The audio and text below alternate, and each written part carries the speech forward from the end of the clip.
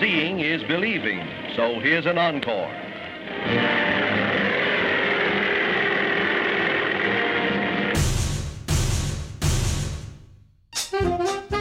The gyrocopter was invented in the 1920s by this guy, a Spaniard named Juan de la Cierva. Years before, he had designed and built Spain's first airplane.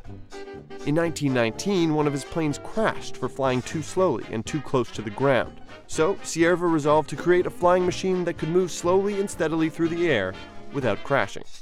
He called it the autogyro. It works like a helicopter, but its rotor is powered by the air, not by a motor. The first autogyro took flight in 1923. In 1925, it was demonstrated to both King Alfonso of Spain and the British Air Ministry. The British government liked it so much, they bought two. In 1928, American inventor Harold Frederick Pitcairn bought one of Cierva's autogyros. The next year, Pitcairn licensed the technology and patents from Cierva and began building his own autogyros in America. That's him flying one over Washington, D.C. In 1930, President Hoover awarded Pitcairn the Collier Trophy for his great achievements in aviation. The autogyro was eventually used by the U.S. military, An improved self-catapulting autogyro warms up to show military experts what it can do.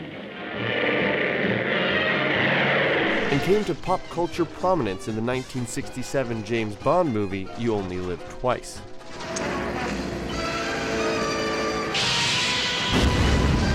Somewhat less dramatically, in 2015, a postal worker flew one onto the Capitol lawn and was promptly arrested. Hey,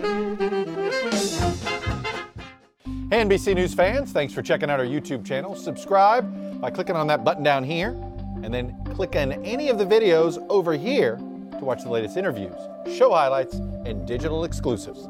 Thanks for watching.